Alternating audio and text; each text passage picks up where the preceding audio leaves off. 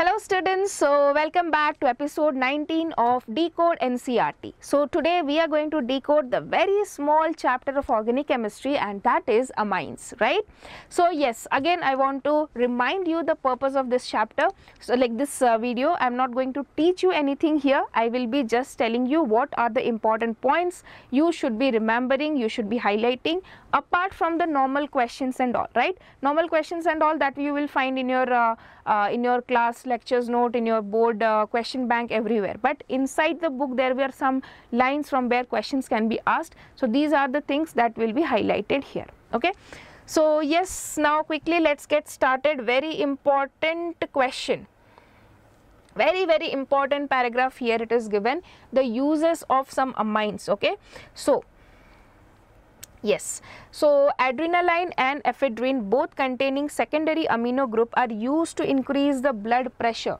This statement can be asked as a in a 5 marker question you know it is 3 plus 2 right. So, 2 plus 2 plus 1 somewhere it can be asked it can be asked in MCQs. So, please highlight this one you should be remembering that adrenaline and ephedrine these are secondary amino groups they are used in the blood pressure in to maintain the blood pressure okay. Next coming your novocain okay. So, what you have to remember regarding novocain so this thing is novocain it is used as a synthetic amino group. First of all it is your synthetic amino group used as an anesthetics where in dentistry okay? These are the things you should be remembering. Next benadryl okay? A well known antihistaminic drug also contains tertiary amino group okay? These are the things that you have to remember. Next here about the structure of amines you know it is sp3 hybridized and the geometry of the amines is pyramidal. And due to the presence of unshared pair of elect okay here a question may be arised. Why the bond angle in amines is less than the tetrahedral angle is less than this 109.5 what is the actual value that is not given? Okay yeah it is given here somewhere 108 so it is less than the actual value. Why? Because of the lone pair present. Okay Next classification of amines. So, you know it classifies on the, the basis of number of hydrogens that is replaced. Okay. Now, amines are said to be simple. What is mixed amines and what is simple amines that also can be asked as a question or question can be which of the following is a simple amine or find the mixed amine among the following. So, you should be knowing if all the alkyl or al aryl groups are same then it is simple and if it is different it is mixed amines. Okay. Next nomenclature. Here you should be little careful about the nomenclature. You can practice this nomenclature table. Very very important. Okay. Next moving to okay. So preparation. First is reduction of nitro compounds. Okay. Next uh, here something important is there.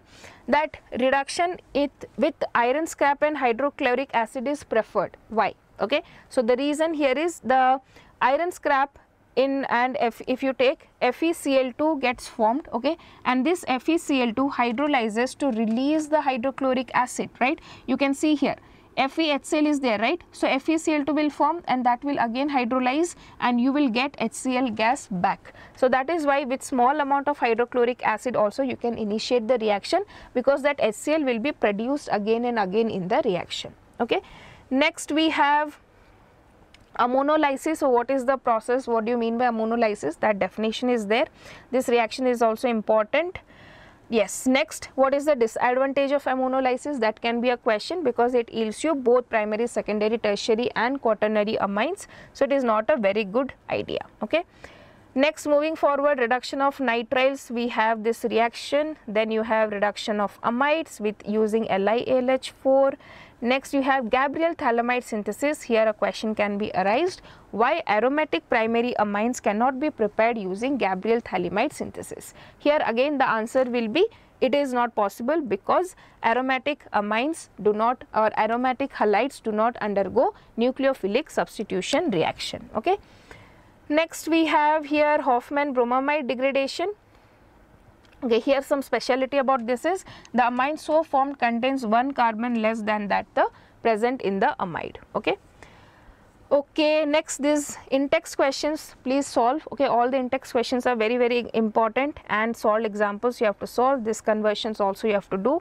Next coming to physical properties. Okay here a question is there out of butane 1 ol and butane 1 amine which will be more stable in water? Okay or which will be more soluble in water? Sorry. So the answer here will be alcohols are more polar than amines and form stronger intermolecular hydrogen bonding right. So, that is why what will happen see alcohols are more polar than amines and form stronger intermolecular hydrogen bonding than amines. So, that is why we can say that amines will be more soluble sorry alcohols will be more soluble okay. Next moving forward here uh, here something is regarding the boiling point of amines I think uh, yes. Therefore, in order of boiling point yes. So, how can you define the boiling point primary, secondary and tertiary? How what is the explanation of this order? This is the answer. The reason is hydrogen bonding. Here you have more hydrogen bonding can see. So that is why in primary amines there will be more hydrogen bonding more uh, intermolecular hydrogen bonding. So it will be difficult to boil it. Here there is no hydrogen in tertiary so less hydrogen bonding. Okay so that is the reason here. Next moving forward to chemical reactions. Basic character of amines we know it can donate uh, electrons. So that is why it is basic in nature then these reactions not that very important. Here something important. Larger will be the uh, kb value. Larger the kb value or smaller the pkb value greater will be the basic nature okay? Next here a question is there. Aliphatic are stronger bases than ammonia due to the plus i effect of the alkyl groups right? When in um, in uh, aliphatic amines we have r groups attached these R groups have plus I effect, they donate electrons to the nitrogen. Electron density on the nitrogen increases and hence it can donate better. Okay. Uh, next, aromatic amines are weaker bases than ammonia due to the electron withdrawing group of the aryl group. So, in aromatic amines what happens? The aryl group is an electron withdrawing group. It withdraws the electrons of nitrogen and that is why electrons on the nitrogen are less available for donation. Okay. Next we have here, uh, okay, okay. Next coming to basicity, alkanamines versus ammonia. Okay, so that we have discussed. This is that alkanamines are means alkyl amines are more basic than your uh, uh, what I'll say normal uh, amines okay or normal ammonia tertiary secondary primary and NH3 that is because of R groups present in these okay. Next we have uh, there is something the greater the size of the ion lesser will be the solvation and less stabilize the ion. So now when you come to the aqueous medium okay in aqueous medium there is something about called as solvation effect and solvation effect will be more if size is small. So you can see in primary amine solvation is good compared to secondary and in tertiary. Then so due to this what happens due to these two mixture in aqueous medium the basic order is compared is primary, secondary and tertiary. So also there is a steric hindrance of your secondary and primary uh, like steric hindrance of the R group that is attached. So mix and match the final result that we get around the basicity is this one and this is a very very important question. So please mark it very very important. Okay? Next comparing aryl amines versus ammonia. Okay? So if you see aryl amines pkb value of aniline is quite high pkb value is very high means it is less basic why it is because like any other aryl amines, the NH2 group is attached directly to the benzene ring. It results in the unshared electron pair on nitrogen atom to be in conjugation with the benzene ring and thus making it less available for protonation. Okay. So, you can see this electron lone pair is involved in resonance, so it is not available for donation. Okay. Next we have uh, okay one more. First is that one thing okay? Now after even if we get H plus okay? Even if it accepts the H plus so here there is something okay we know that greater the number of resonating structures greater is the stability okay? So if you see the resonating structure of aniline and the resonating structure of anilium ion after it has accepted one proton. Here you see more number of structures is there. So definitely this is more stable. Aniline is more stable than nh3 plus. Means the conjugate acid that is formed is less stable. Why? Because of less resonating structures. So thus you can infer that aniline is more stable than anilium ion okay? So therefore the proton acceptability or the basic nature of aniline or other aromatic amines would be less than that of ammonia okay? So the order is like this for clarification. First is your rnh2 okay. then is ammonia and next is aryl amines this is the order. Clear?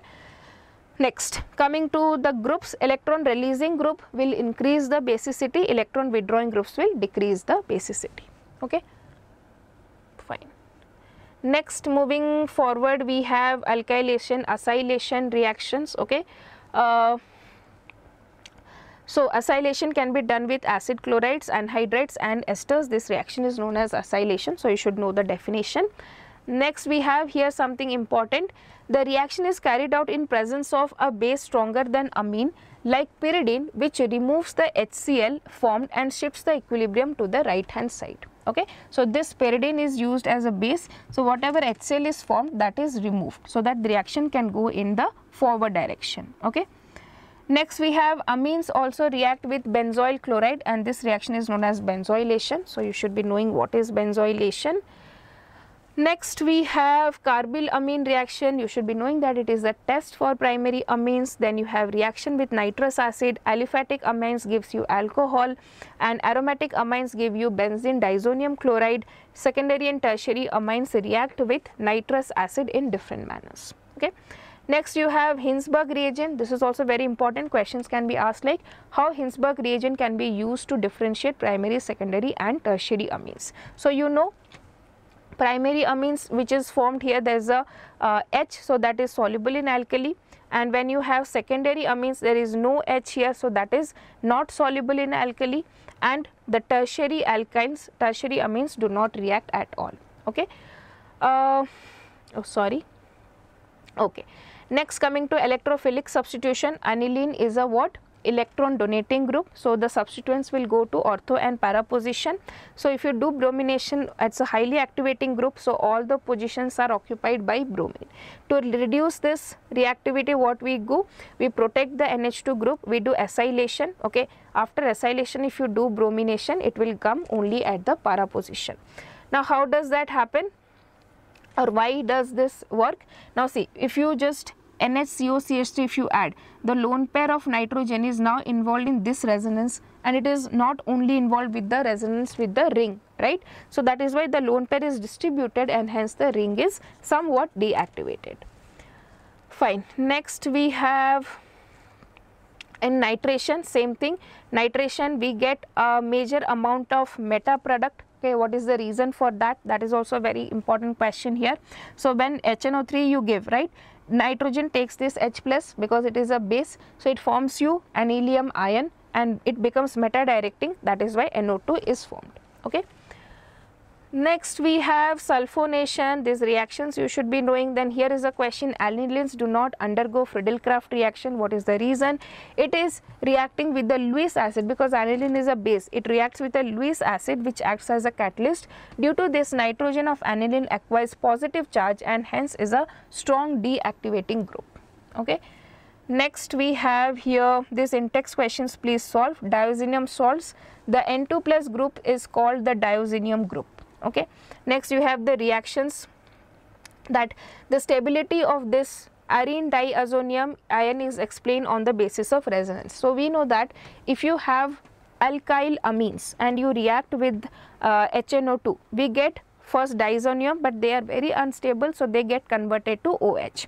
But the same thing does not happen with aryl amines.